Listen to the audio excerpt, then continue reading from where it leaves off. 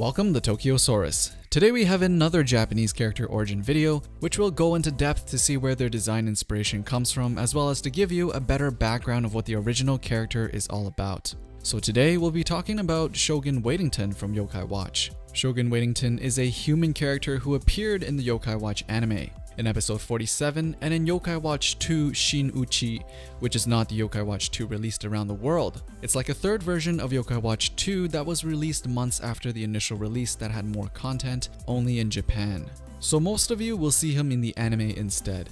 Shogun Waitington's partner, No Nutton, is actually the past form of Whisper from the Sengoku period. Even though No Nutton actually knows nothing and just pretends to know everything, Waitington was able to build his reputation and successfully win battles with No Nutton's tactics. And for some odd reasons, he also resembles Nate in his hair color as well as the spiky hair. I wouldn't be surprised if Shogun Waitington is actually an ancestor of Nate's, and if not, he was certainly passed for an older version of him. So it turns out Shogun Waitington's Japanese name is the name of a famous Japanese samurai and military commander of the late Sengoku period by the name of Ishida Mitsunari. Mitsunari started by serving the feudal lord Hideyoshi of Nagahama and eventually became known for his talented management of financials. He was soon appointed to be one of the top administrators in the Hideyoshi government and was eventually made a feudal lord himself.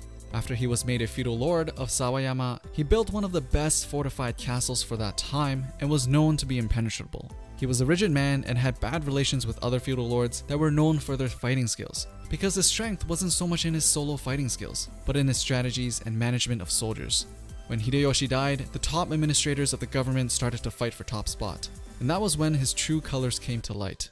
After getting the support of three other top administrators, he began to challenge the most powerful of all the administrators, Ieyasu. He started with taking hostages of the wives of government officials that supported Ieyasu, and even attempted to assassinate Ieyasu himself. But even with all his underhanded efforts, he was later defeated by Ieyasu's forces in battle, which allowed the Tokugawa family to become the undisputed rulers of Japan for over 250 years. So history paints him in a bit of a negative light sometimes when they compare him with other generals. But in popular culture, he's seen more of a warrior that was loyal to Hideyoshi rather than a strategist. He's even a playable character in Pokemon Conquest. So his name is quite well known in Japan. In Yokai Watch though, spoiler warning for those of you who didn't watch this yet.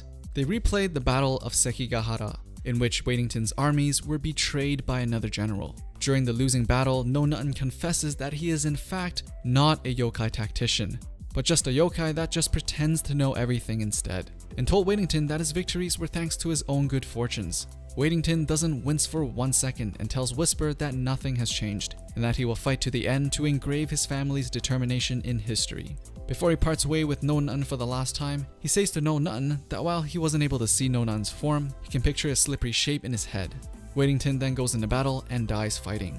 Quite a heroic way to go as opposed to the way real history has it recorded, but it seems like a lot of pop culture likes to paint him as an incorruptible character rather than a person of treacherous schemes.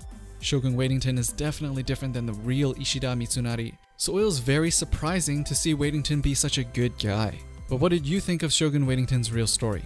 As usual, let me know in the comments below. Follow Tokyosaurus on Twitter and Facebook for updates on our newest videos and Japan related tweets. Like the video if you want more like this and subscribe so you can get the latest videos right in your inbox. Thanks for watching and I'll see you guys in the next one.